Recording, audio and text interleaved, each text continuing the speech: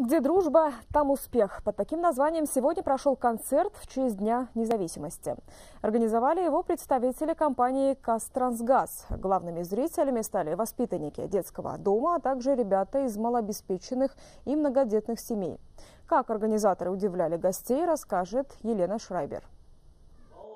Любопытные глаза и счастливые улыбки, завороженные концертом, дети стараются подпевать и пританцовывать артистам. В преддверии Дня независимости юных зрителей пригласили сотрудники компании «Кастрансгаз». 200 ребят в разноцветных футболках сегодня узнали о главном празднике страны чуточку больше, причем от своих же ровесников.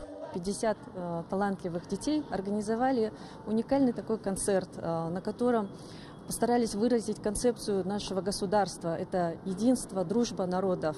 Сегодня дети смогли узнать традиции, культуру разных народов, которые живут в Казахстане.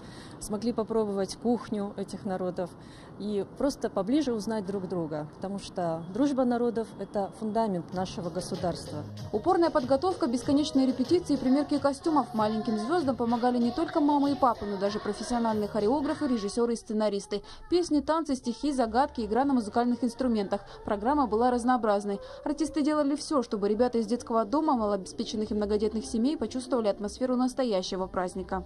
Мне понравилось, когда вы ну, выходили все национальности, потому что как бы наша страна, она дружная, мирная, и, как сказали, в ней живет много национальностей. Театрализованный номер, о котором говорит Лиза, стал изюминкой всего концерта. С помощью танца дети показали, что в Казахстане проживают люди разных национальностей, но все вместе они являются единым народом. Пока юные артисты шагают в немногу и не всегда попадают в ритм, но главное, у них есть желание и стремление познавать все новое. Елена Шребер, Умербек Изимов, Астана.